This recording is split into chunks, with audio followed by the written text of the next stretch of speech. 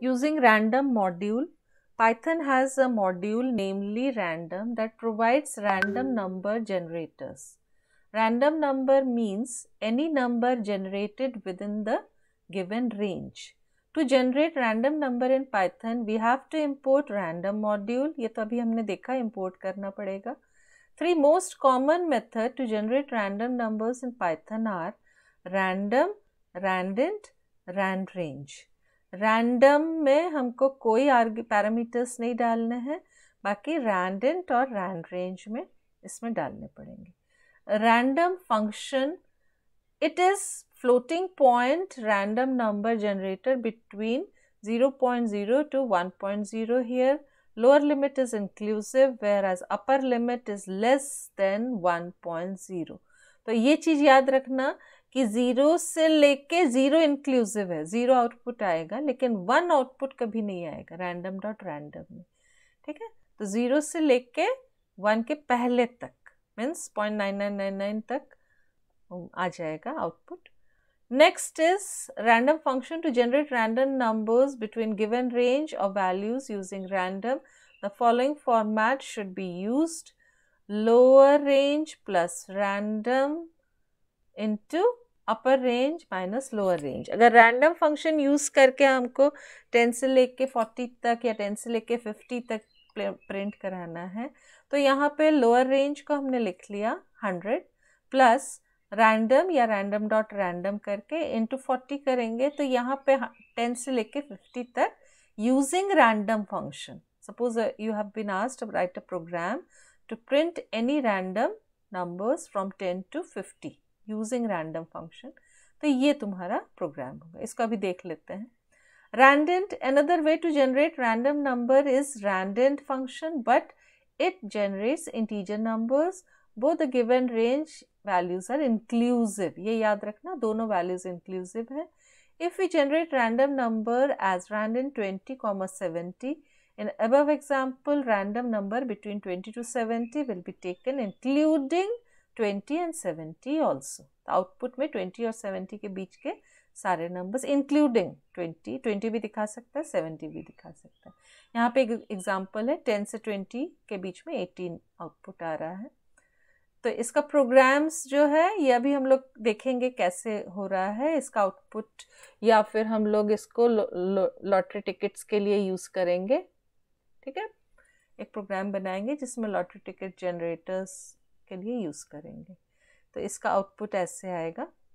Next give the following Python code which is repeated four times what could be the possible set of outputs out of the four sets D it is any combination of digits so here import random print fifteen से लेके fifteen ये into five तो यहाँ पे zero five zero the zero हो सकता है five one the five हो सकता है तो डिजिट्स तो इसमें से कौन सा हो सकता है फिफ्टीन से लेके तो यहाँ पे फिफ्टीन से लेके फाइव वन फाइव ट्वेंटी तक, कोई भी नंबर बट वन नहीं आएगा ट्वेंटी से पहले रुक जाएगा तो फ़र्स्ट वाला है सेवेंटी ट्वेंटी से पहले फ़र्स्ट नहीं हो सकता है। सेकेंड हो सकता है, थर्ड में भी ट्वेंटी है, नहीं हो सकता है।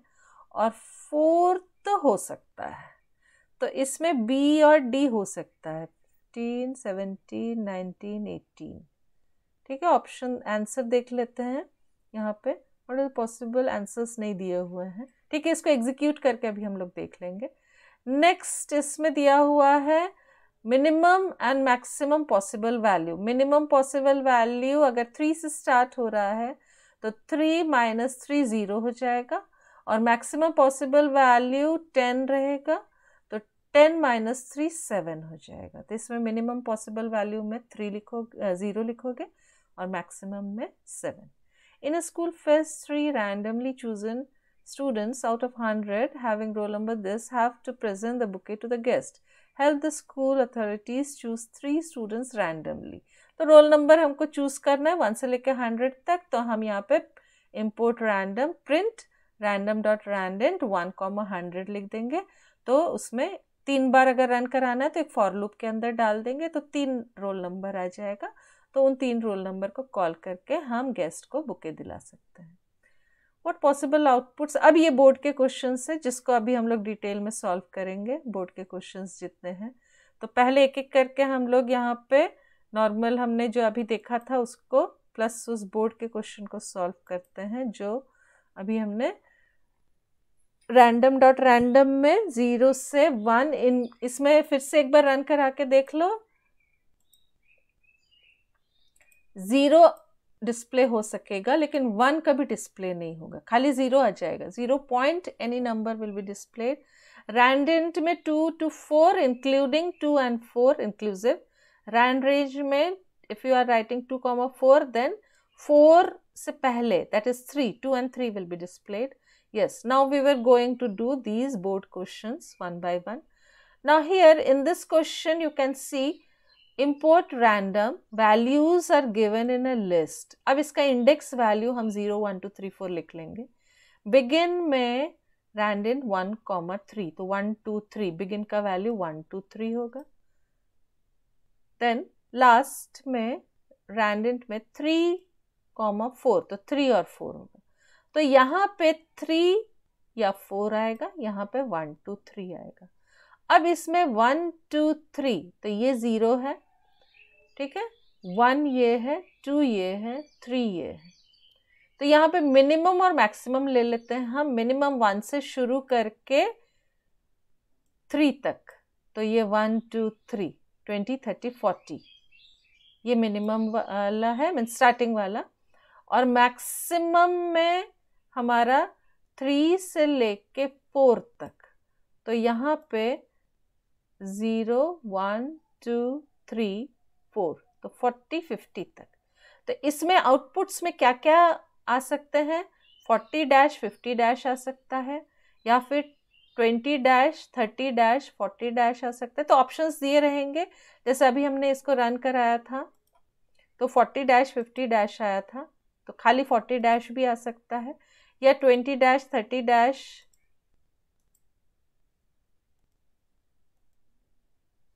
thirty, forty, fifty भी आ सकता है, ठीक है? इस रेंज में कोई भी आ सकता है। वन से स्टार्ट करके ज़ीरो वन वन से स्टार्ट करके फोर तक कोई भी वैल्यू आ सकता है। डिपेंड करता है कि बिगिन का वैल्यू क्या है और लास्ट का वैल्यू क्या है। तो ऑप्शंस में हम देख लेंगे और उसी के हिसाब से, जैसे अभी हमने देखा तो उसी के हिसाब से हम ऑप्शंस को सिलेक्ट करेंगे। ना नेक्स्ट क्वेश्चन इज़ बिगिन का वैल्यू लेने के बाद हमने बिगिन के वेरिएबल को यहाँ डाल के हमने लास्ट का वैल्यू क्या, ये बोर्ड के क्वेश्चन है। अभी जो मैं दिखा रही हूँ, ये बोर्ड के क्वेश्चन है। तो इस केस में क्या हो रहा है कि बिगिन का वैल्यू वन, टू, थ्री और लास्ट का वैल्यू यहाँ पे कुछ भी हो सकता है, वन हो सकता है, टू हो सकता है, थ्री हो सकता है और उसके बाद ये फोर तक जा रहा है, ठीक है? अब जब हम ये फॉर लूप लगाएँगे तो ये वन से लेके वन प्लस वन तो ये खाली ट्वेंटी भी दिखा सकता है, खाली थर्टी मीन्स डिपेंड करता है कि बिगिन का वैल्यू क्या है, उसी के हिसाब से लास्ट का वैल्यू, उसी के हिसाब से फॉर लूप। तो इसको हम जब एग्जीक्यूट करेंगे, ऑप्शंस दिए रहते हैं तो ये वन से शुरू हो रहा है, ज़ीरो कहीं पे भी नहीं है तो इसलिए टेन तो कभी आएगा ही नहीं। और हमेशा वो लोअर से मीन्स यहाँ से लेके यहाँ तक जाएगा। अच्छा मिनिमम और मैक्सिमम देख के हम उसके बीच के ऑप्शंस को मिनिमम हमारा वन है बिगिन का वैल्यू और मैक्सिमम हमारा लास्ट फोर है।